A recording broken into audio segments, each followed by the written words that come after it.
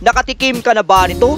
Ito ay isang uri ng pagkaing dagat na kadalasan kinikilaw dito sa amin. Ito ang tinatawag sa amin na balat. At kung tawagin naman sa Ingles ay sea cucumber. Kadalasan itong matatagpuan sa ilalim ng dagat. Siyempre alangan naman sa clouds. Napakadali lang nila kunin pre kasi hindi to sila lumilihok. Ito ang dalawang pamagi para makuha mo sila. Una, sasalom ka muna sa dagat. Pangalawa, sisigahon mo lang ang iyong mata. At yun makikitaan mo na sila. Magkaiba din ang itsura at ng kulay nitong mga balat pre. Ito naman ang proseso kung paano sila kilawin. Kiskisin mo muna ang kanilang balat gamit ang kutsilyo. Kasi kahit araw-araw ito silang naliligo, hindi sila nang lulugod. Kaya kiskisin mong maigi ang kanilang balat para matangtang ang kanilang buling. Pwede rin steel wool o brush panglaba ang gamitin mo para matangtang talaga ang kanilang buling. At pagkatapos mo silang lugdan, pwede mo na silang hiwain. Take note, dapat hait na kutsilyo ang gamitin mo pre sa paghiwa. Kasi sumusukol ang kanilang panit kapag hinihiwa mo. At pagkatapos hiwain mo ng maliliit para hindi ka maglisod ng pag-usap mamaya. Nasa sayo pa rin kung anong kadakon ang gusto mo sa paghiwa. Paalala lang sa mga bata kapag namunit kayo nito sa unasan, magpatabang kayo sa inyong mga magulang kapag maghiwa na kayo nito. At saka itong balat na hiniwa ko pre, hindi ito yung nasa daplin. Ito yung mga balat na makukuha mo sa lalom. Yung 10 or 12 metros ang kalalumon. At bago mo ito sila kilawin pre, laphawan mo muna ng init na tubig. At heto na ang ating kinilaw na balat o sea cucumber. I-try mo na pre.